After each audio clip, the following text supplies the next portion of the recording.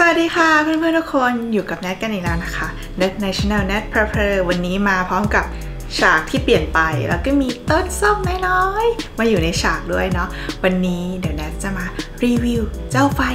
โรเซ่กันค่ะ ก่อนที่แนทจะมา unbox แล้วก็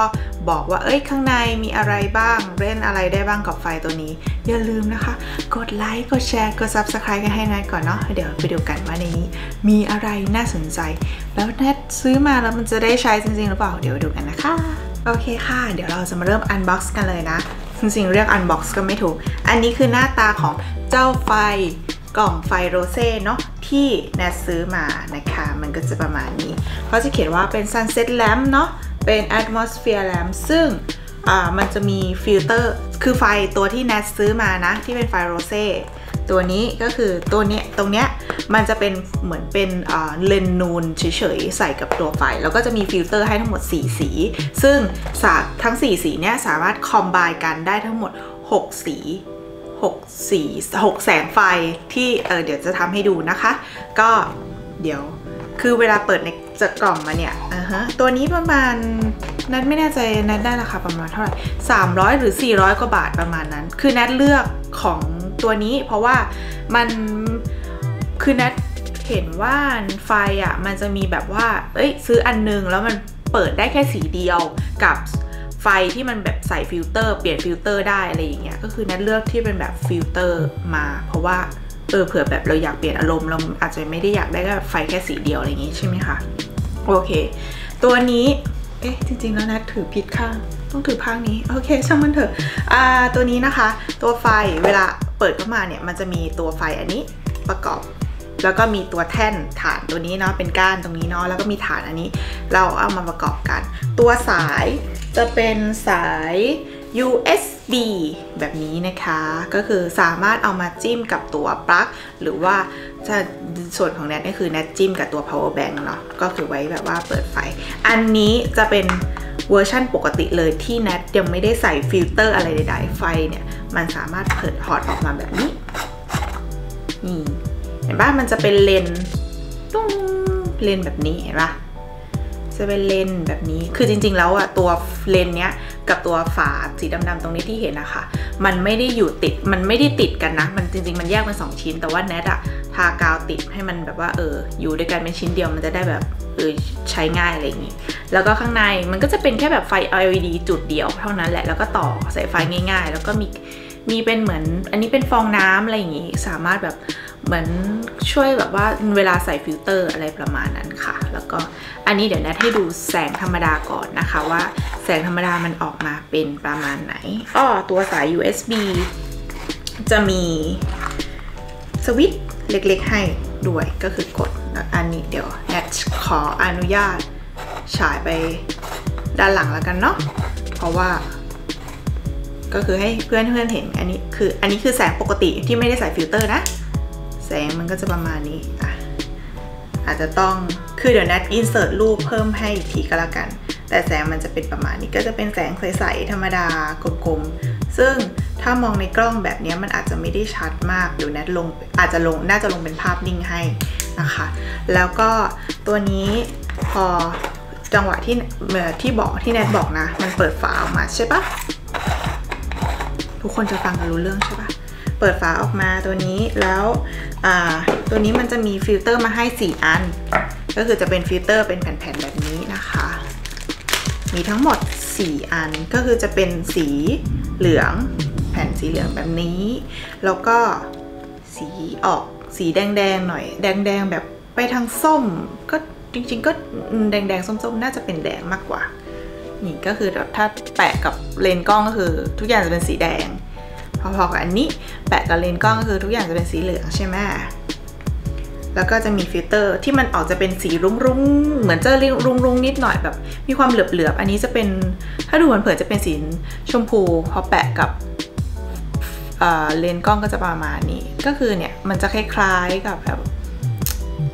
มันจะให้อารมณ์ออกชมพูนะสำหรับตัวนี้ แล้วก็อีกตัวหนึ่ง จะเป็นสีออกฟ้าๆหน่อยเป็นแบบเหลือบๆเหมือนกัน อันนี้จะให้โทนสีออกน้ำเงินแล้วก็แบบออกม่วงๆนิดหนึ่งซึ่งฟิลเตอร์ทุกเนี้ยเนี่ยแหละค่ะ ที่เราจะเอามาใส่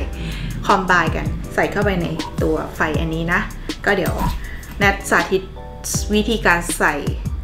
ให้ดูเฉยๆ แล้วก็เดี๋ยวน่าจะเป็นภาพที่ได้จากไฟของแสงของแสงแต่ละแบบเนาะวิธี combine จริงๆแล้วอะ่ะ ในเอกสารที่อยู่ในกล่องนี่เขาก็จะมีบอกว่าโอเค รุ่นที่แนทซื้อมันจะเป็นแบบ table lamp นะ แบบนี้ก็คือจะมีตัว ไฟกลมๆนี้ใช่ไหมมีฐานกลมๆสำวางสำหรับวางแล้วก็แท่นอันนี้แล้วก็มีฟิลเตอร์ทั้งหมด 4 ตัว แต่ว่ามันจะมีรุ่นที่มันเป็นแบบเป็นขาตั้งยาวๆ ที่มันสามารถต่อต่อต่อให้มันตั้งสูงขึ้นมาได้อีก แล้วก็นี่ตัวนี้พูดถึงฟิล์มค่ะ ฟิล์มทั้งหมด 4 แบบที่แนทบอกว่ามัน combine สีอะไรยังไง แล้วก็จะได้แบบ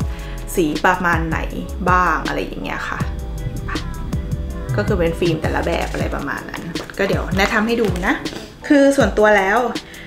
ด้วยความที่อันเนี้ยมันจะถอดตัวฟองน้ำขึ้นมาได้เลเวลหนึ่งใช่ปะแล้วก็อันนี้จะเป็นเห็นขอบข้างในว่ามันจะมีชั้นที่มันฟองน้ำเอเลเวลที่มันสูงกว่าตัวไฟ LED ตรงเนี้ยขึ้นมา 1 step ใช่ปะอีตรงเลเวลเนี้ยแนทก็จะใส่ตัวฟิลเตอร์ไป 1 ชั้น คืออันนี้แนทหยิบมั่วๆกันนะไม่ไม่ได้เจาะจงว่าเป็นไฟสีอะไร อันนี้จะเป็นฟิลเตอร์สีเหลืองนะแนทใส่ไปแล้วก็ค่อยใส่ตัว อันนี้ แล้วก็ปิดฝา คือจริงๆอะจะใส่ชั้นข้างบนก็ได้ ชั้นหมายถึง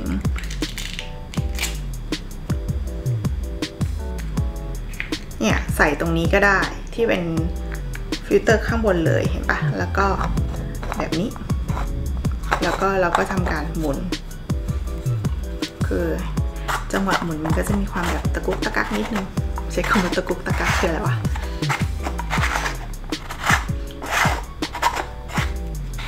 โอเค